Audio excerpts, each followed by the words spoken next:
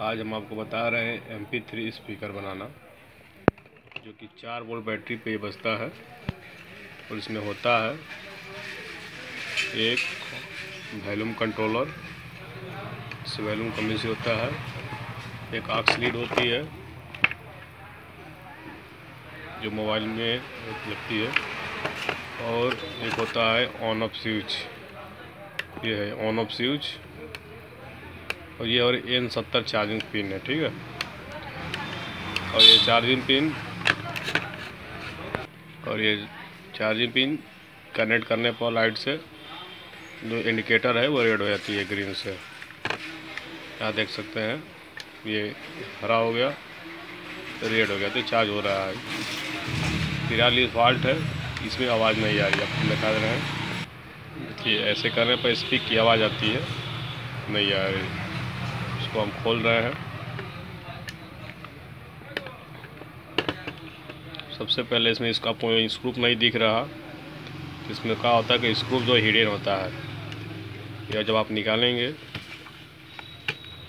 ये यहाँ से निकलेगा। इस पेचकस में सारा ले सकते हैं। इसमें चार पॉइंट से बना होता है। उसके बाद इस स्क्रू को ओपन किया जाएगा।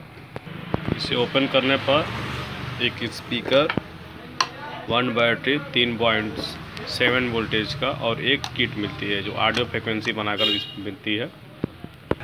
ये हमने किट को बाहर निकाल लिया है। ये आवाज़ निकाल नहीं रहा। इसके लिए जिम्मेवार जो है आपका, ये वैल्यूम भी हो सकता है। नॉर्मली इस सेट में ये वैल्यूम स्पीकर और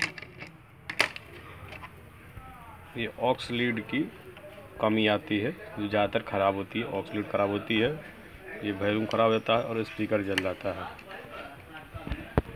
सबसे पहले हमने वायर को अलग किया स्पीकर से, और स्पीकर हम चेक कर रहे हैं।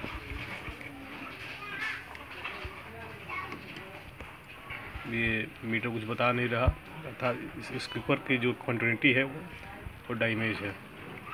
इसी क्वान्टिटी देखिए, बता रहा। स्पीकर की जो क्वान्टिटी है वो डैमेज है। इसका मतलब अगर स्पीकर बदल दिया जाए तो ये काम करना शुरू हो जाएगा। फिर, जैसा कि आप देख पा रहे होंगे कि स्पीकर की जो ये कनेक्शन है, ये टूटी हुई है।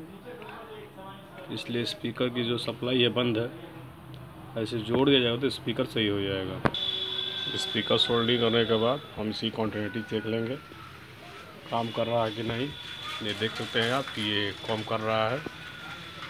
सही है, अर्थात ये सर्किट में काम करेगा स्पीकर अब इसमें हम मोबाइल जोड़ कर देखते हैं वॉइस कैसा आती है इसमें।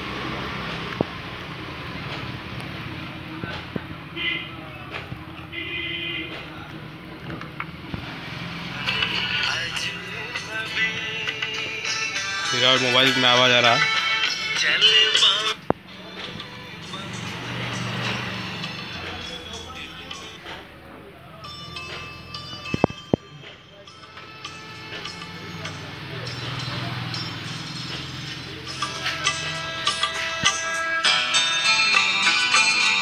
बहुत अच्छा काम कर रहा है।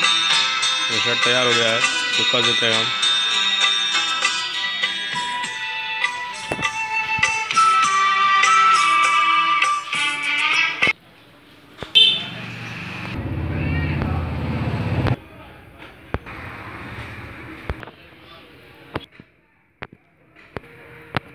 जैसा कि एक कस के तैयार है इसकी हम दिखा रहे हैं। आवाज़ इसकी